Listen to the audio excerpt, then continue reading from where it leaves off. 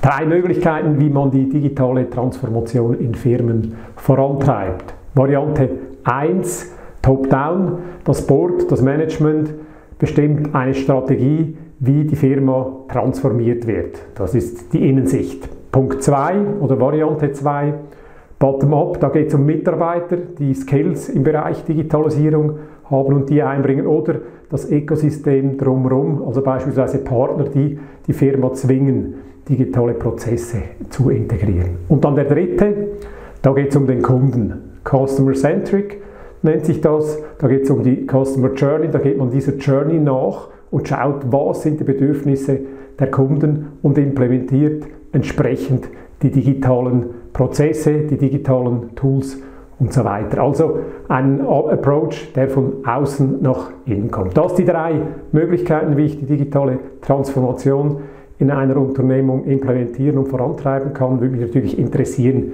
was ihr dazu sagt und vor allem, welches eure favorisierte ist.